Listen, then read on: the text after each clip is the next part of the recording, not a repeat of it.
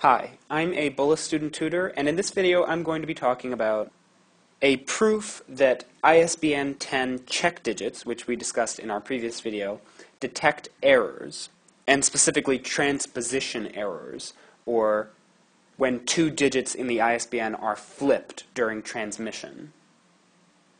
So a transposition error in a string of numbers occurs if two digits are switched. So in this sequence, 2531, if the 5 and the 3 were switched, and it became 2351. And we're going to prove that the ISBN check digit scheme detects all transposition errors, and we're going to do this using proof by contradiction. So the statement we're trying to prove is that the ISBN 10 check digit scheme detects any transposition error. So let's start off by making our assumption, which is what we do in proof by contradiction. So we'll assume that there is a transposition error that the scheme does detect, or rather does not detect. So we're assuming that we have two 10-digit numbers, A and B, that are identical, except that A sub m, the mth digit of the number A, equals b sub n, and a sub n equals b sub m. And this just means that the m and nth digits are switched in these two numbers. And we're assuming that m does not equal n, and that a sub k equals b sub k for all k that aren't m and n. So basically, again, the numbers are identical except for the m and nth numbers. We're also going to assume that the two numbers satisfy the ISBN, and we should point out that the ISBN 10 check digit scheme can be represented in this way. The sigma represents addition of digits 1 through 10, and these parts show that with k starting at 1, each consecutive digit is added up, but first multiplied by its position in the number. So a sub 5 is multiplied by 5, etc. So then, if the 10-digit number A satisfies this congruence and the 10-digit number B satisfies this congruence, then the two congruences can be set congruent to each other.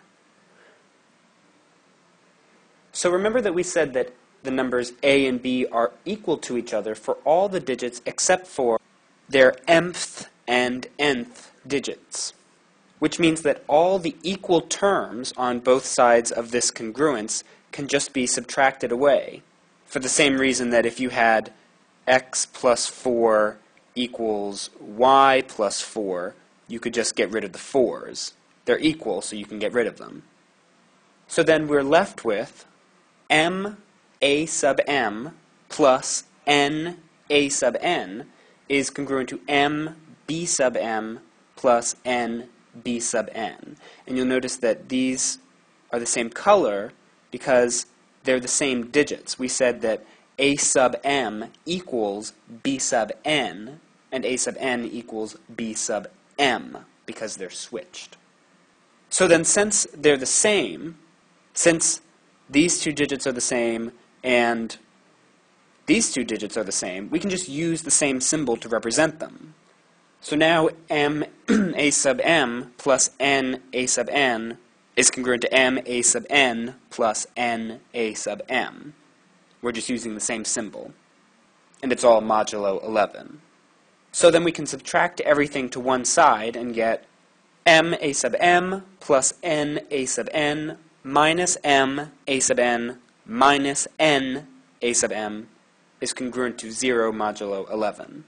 Then we can factor out some things and get m times a sub n minus a sub n plus n times a sub n minus a sub m is congruent to 0 modulo 11. We've just factored out the m and the n.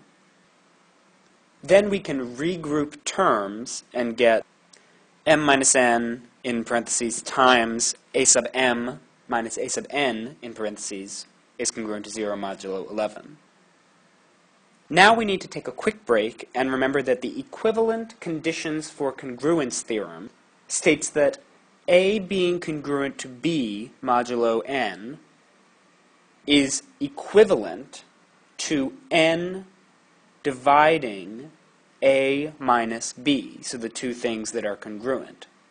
So if we apply this to our congruence up here, we can see that this first congruence is equivalent to 11 divides m minus n times a sub m minus a sub n.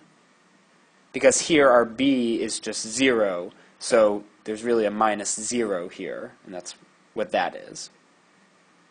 Now, we also need to remember that the fundamental property of primes tells us if a prime number, p, divides a times b, where a and b are both integers, then that prime number has to divide, or go into without any remainder, a or b.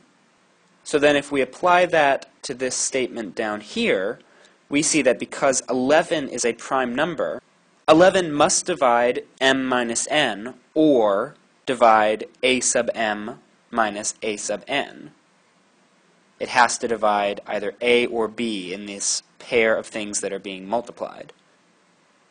But we know that m and n are both integers in the range 1, 2 through 10. They're either there's some integer between 1 and 10. We know this because m and n are just numbers that represent some position in those original big 10-digit ISBN numbers that we had, A and B. So M and N, the position in those 10-digit ISBN numbers, cannot be more than 10 or less than 1. So then, 11 can't divide m minus n because there's no subtraction between this range of integers that would produce a number that is divisible by 11. And we know that a sub m and a sub n are integers in the range of 0, 1 through 9, because a sub m and a sub n are just digits in those ISBNs that we were talking about. And a single digit in an ISBN number is either going to be 0, 1, 2, 3, 4, 5, 6, 7, 8, or 9. It won't be a double digit. So then we also see that 11 cannot divide a sub m minus a sub n because again, there's no subtraction that could take place between this range of integers that would produce a number divisible by 11.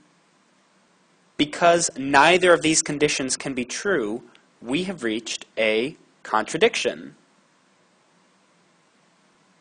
This means that our assumption that there is a transposition error that the scheme, the check digit scheme for ISBN 10 numbers does not detect, is false because we found a contradiction.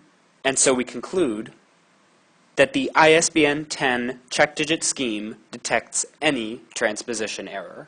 And we proved this using proof by contradiction. This has been a Bullis Student Tutor video. If you liked the video and found it helpful, please make sure to like the video, subscribe to our YouTube channel, and check out all our other great tutoring videos on our YouTube page. Thank you.